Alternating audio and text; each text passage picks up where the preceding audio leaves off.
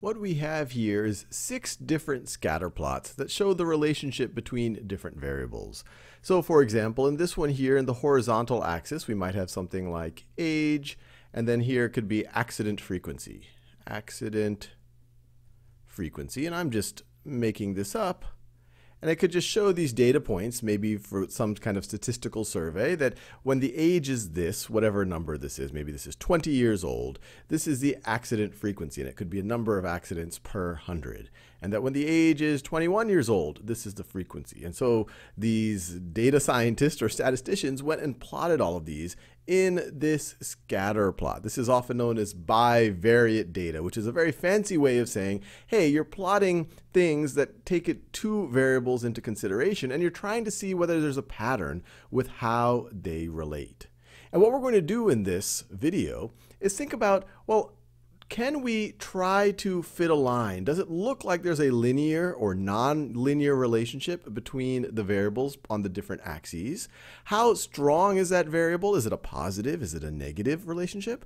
And then we'll think about this idea of outliers. So let's just first think about whether there's a linear or non-linear relationship. And I'll get my little ruler tool out here. So this data right over here, it looks like I could get a, I could put a line through it that gets pretty close through the data. You're not going to, it's very unlikely you're going to be able to go through all of the data points, but you can try to get a line. And I'm just doing this, there's more numerical, more precise ways of doing this, but I'm just eyeballing it right over here.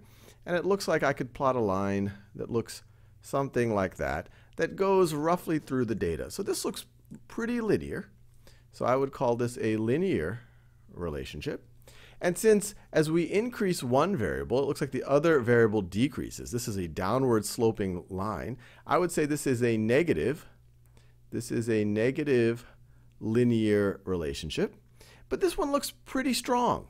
So because the dots aren't that far from my line, this one gets a little bit further, but it's not, you know, there's not some dots way out there.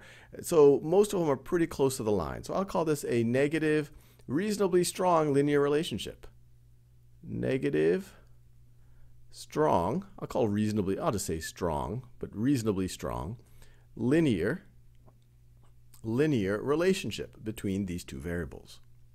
Now let's look at this one and pause this video and think about what, what this one would be for you. Well, let's see. I'll get my ruler tool out again. It looks like I can try to put a line. It looks like generally speaking, as one variable increases, the other variable increases as well. So something like this goes through the data and approximates the direction. And this looks positive. As one variable increases, the other variable increases, roughly. So this is a positive relationship. But this is weak. A lot of the data is off, well off of the line. So positive, weak, but I'd say this is still linear. It seems that as we increase one, the other one increases at roughly the same rate, although these data points are all over the place. So I would still call this linear. Now there's also this notion of outliers. If I said, hey, this line is trying to describe the data, well, we have some data that is uh, fairly off the line. So for example, even though we're saying it's a positive weak linear relationship, this one over here is reasonably high on the vertical variable, but it's low on the horizontal variable. And so this one right over here is an outlier. It's quite far away from the line. You could view that as an outlier. And this is a little bit subjective. Outliers, well, what looks pretty far from the rest of the data? This could also be an outlier. Let me label these. Outlier. Now pause the video and see if you can think about this one. Is it positive or negative? Is it linear, nonlinear? Is it strong or weak? I'll get my ruler tool out here. So this goes here. Seems like I can fit a line pretty well to this. So I could fit, maybe I'll do the line in purple. I could fit a line that looks like that. And so this one looks like it's positive. As one variable increases, the other one does for these data points. So it's a positive I'd say this is pretty strong. The dots are pretty close to the line. There, it really does look like a little bit of a fat line if you just look at the dots. So positive, strong, linear, linear relationship. And none of these data points are really strong outliers. This one's a little bit further out, but they're all pretty close to the line and seem to describe that trend roughly. All right, now let's look at this, this data right over here. So let me get my line tool out again. So it looks like I can fit a line. So it looks and it looks like it's a positive relationship. The line would be upward sloping. It would look something like this. And once again, I'm eyeballing it. You can use computers and other methods to actually find a more precise line that minimizes the collective distance to all of the points. But it looks like there is a positive but I would say this one is a weak linear relationship because you have a lot of points that are far off the line. So not so strong. So I would call this a positive, weak, linear relationship. And there's a lot of outliers here. You know, this one over here is pretty far, pretty far out. Now let's look at this one. Pause this video and think about is it positive, negative? Is it strong or weak? Is this linear, or nonlinear?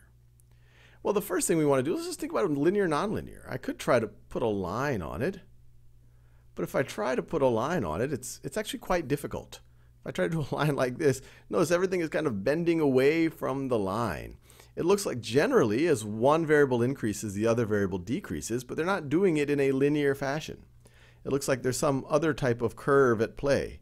So I could try to do a fancier curve that looks something like this, and this seems to fit the data a lot better. So this one I would describe as non-linear.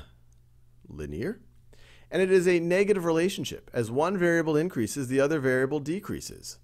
So this is a negative, I would say reasonably strong nonlinear relationship.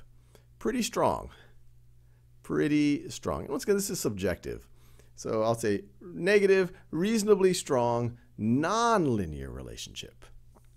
And maybe you could call this one an outlier, but it's not that far. And I, I, might even be able to fit a curve that gets a little bit closer to that. Once again, I'm eyeballing this. Now let's do this last one. So this one uh, looks like a negative linear relationship to me, a fairly strong negative linear relationship, although there's some outliers. So let me draw this line. So that seems to fit the data pretty good.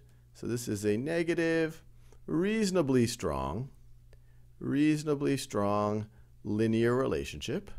But these are very clear outliers. These are well away from the data or from the cluster of where most of the points are.